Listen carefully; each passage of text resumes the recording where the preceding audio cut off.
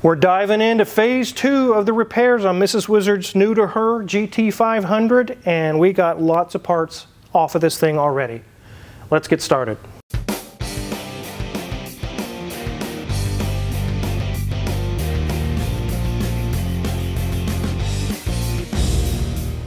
So you guys saw this vehicle on Hoovie's Garage. He showed it. It's a 2008 Shelby GT500 Mustang. He came upon some hard times, imagine that. And the bill was so high, he was like, Wizard, this hits me at a bad time. I worked a deal out with him. Give me the Shelby GT500, I make the bills disappear. And he agreed, he thought that was a great deal. He didn't even know really what he was going to do with this thing. He's like, here's the keys. Uh, thanks, I appreciate that. I took that car, as you saw in one of the previous videos, and gave it to Mrs. Wizard for our million subscriber celebration. Hoovie fixed a few things on this car, but there was another phase worth of things to do. The clutch was really stiff, and we're going to find out why today. Had rattles and clunks and all kinds of things going on. He wasn't going to fix those things, but now that it is our car, we are going to fix those things. Let's head on over to the transmission because it's out. Uh, Wizard, you're getting kind of physical there. Yeah, I'm, I'm lifting weights with your shaft. I don't have one of those. Yeah, I was going to say, you don't you don't have one of these. Well, your car does. My car does. Yes, it's very heavy too. Ugh. Yep, this thing is out. Let's put this on the ground. One thing we did check was the carrier bearing. I thought they was clunking or something. It's not, it's happy. The rubber is all in good shape, so we don't need to mess with the drive shaft. Here is your six-speed transmission, Mrs. Wizard. It is beautiful. Yep, you showed it in the previous video going through the gears, how it was a cool six speed. Now we actually get to see the transmission that's a six speed. Danielson's actually doing the work. He's pulled this all out. He's done a lot of the clutches we're installing, which we'll show in a minute. But the clutch was really heavy. It was pretty hard.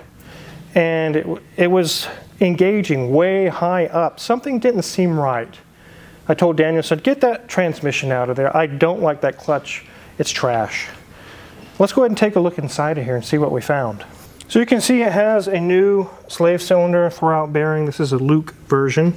We got the old one out. While we're here, why would you put the old one in? Here's the old one, which is the original Ford one from when it was new. And this bearing looks kind of rough and beat up. Why would you put this back together and then have this thing start leaking and in six weeks have to do this job all over again? So I told Danielson, go ahead and rip this thing out. I get a new one ordered and we got that already in. But there's some material in here. Let me show you. Look at this, guys. Um, I don't think that's good to hold and touch with their wizard. It is tons and tons of material in here. Whoever, I think before Hoovie, whoever had this car didn't know how to drive or the clutch was a piece of crap. Let's go take a look at the old clutch. That's gross, Mrs. Wizard. Yeah, and you kept touching it. Anyways, here's the old clutch. There's the transmission mount, which is still good. Here's the flywheel. You can see it has a lot of hot spots on there. It got really hot. I don't know if it can't handle the power since it's got like 570 something at the wheels now. I don't know. It definitely was getting really hot. Here's the clutch disc. It looks like kind of a semi-metallic or some kind of weird shiny. I don't know, but you can see it's got really hot. It's purple and pink. Let me flip it over for you guys. Look at that. Blue. It got super hot. And you can see it's a spec clutch.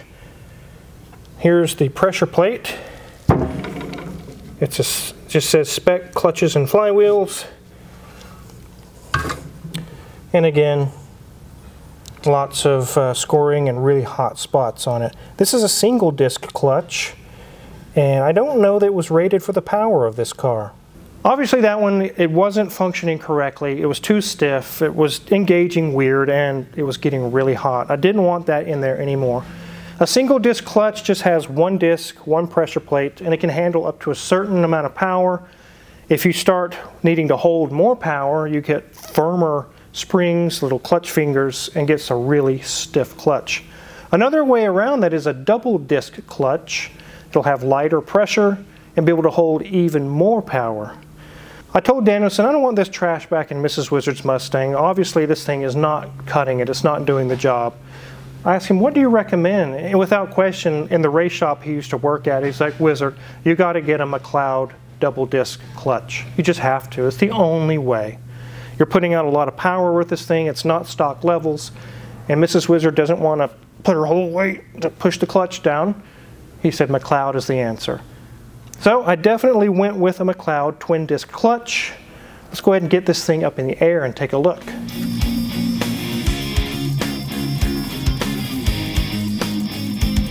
Danielson actually said when he actually got the transmission split from the engine, it was like raining dirt and dust. All that clutch material, it was not holding the power. Take a look, guys. This is what burning up your clutch does.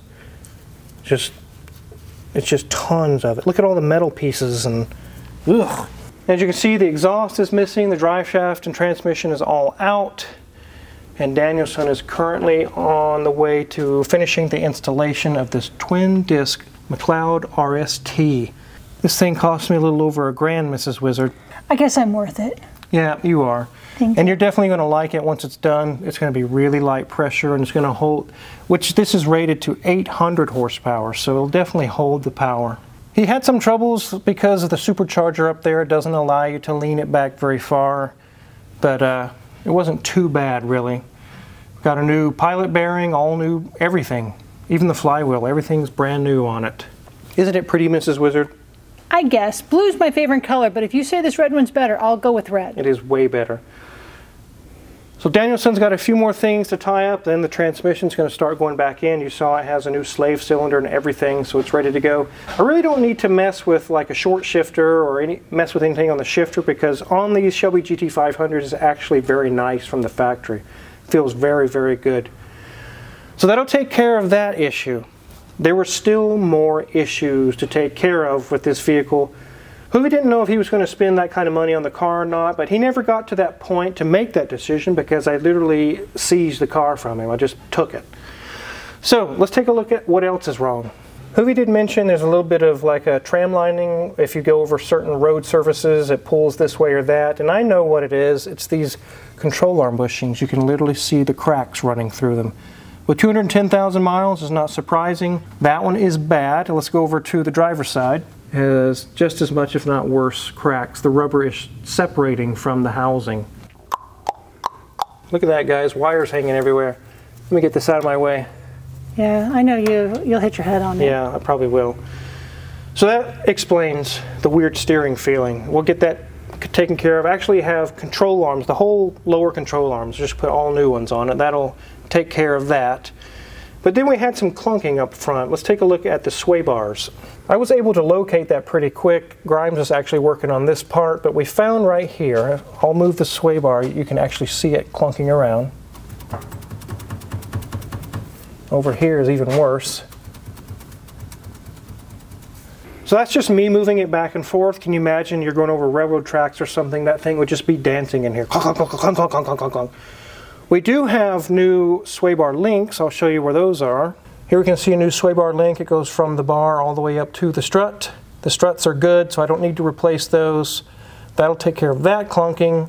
So just wait, there's more. Let's head on to the back. The same thing is going on back here with these bushings, and I'll demonstrate.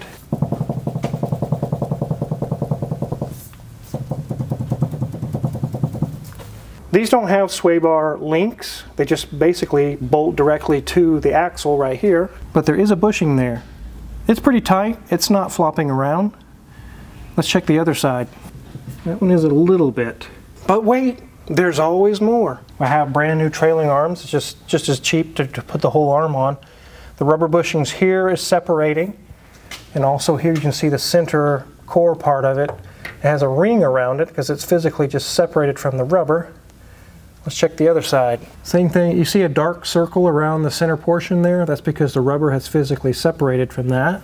And we can see the forward part here has just got cracks all through the rubber. So pretty much a lot of the bushings and things and rubber related items of the suspension are shot on this vehicle and I'm not surprised. I'm not even angry about that because it's like 210,000 miles on this thing. I expected to have to do that. But it runs and drives perfect as far as the engine. No check engine lights, no warnings. We got the coolant leaks and issues solved. The belt squill he had with a new belt was what the solution was there. So once we get done with this thing, it'll be pretty well sorted and ready to rock.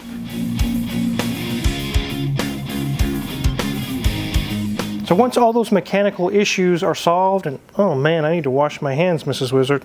I know, you're kind of disgusting. I'm uh, covered in clutch material from someone improperly using a clutch and burning it up. Anyways, once we get all these things solved, this thing's going to be nice, Mrs. Wizard. I'm hoping. I, would like to drive it more than the one time I've driven it. Yeah, you will.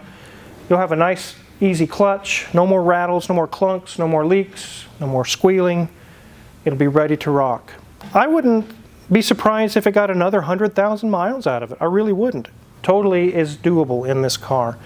We are going to get some new tires though, Mrs. Wizard. These are pretty old. Shocking. A car we buy that doesn't need tires. I think, I mean, we did a video. It was like, what, 100 cars or something we've owned together? Yeah. It was some humongous amount of cars. And I think probably 80% of them, I always had to buy a set of tires. That means people out here are not keeping up with their tires. Check your tires, guys. Now, I apologize to you guys because I didn't address the issue. This has a 5.4 in it, and you guys know I hate the 5.4. But there's some misconception there. I hate the three valve Triton 5.4. This is a dual overhead cam SVT 5.4. It doesn't have the problems that the three valve Triton does. Those are horrible engines.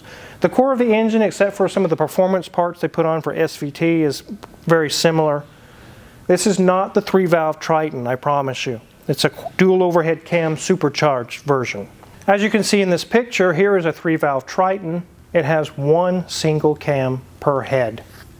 Those are the trash engines. They're junk. Stay away, run away. You say, well, Wizard, I found one online. It's got low miles, it's been taken care I don't care. Don't buy it. Go get you a Toyota Tundra or a Tacoma or something. Go get something else. Don't get that. But again, this is not the three valve Triton. It is the dual overhead cam 5.4 and it is very strong and very powerful. Some of the things that Hoovie didn't want to fix on this are not going to hurt the car. He was just going to have fun, drive around and enjoy it and not dump a ton of money into it.